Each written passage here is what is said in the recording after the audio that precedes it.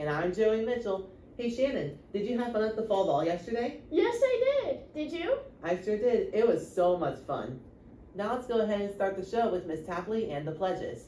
Good morning, Eagles.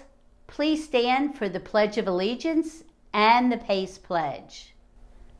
I pledge allegiance to the flag of the United States of America and to the republic for which it stands, one nation under God, indivisible, with liberty and justice for all.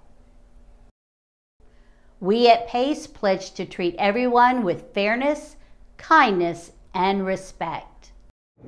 Now it's time for the White Doves quote of the day.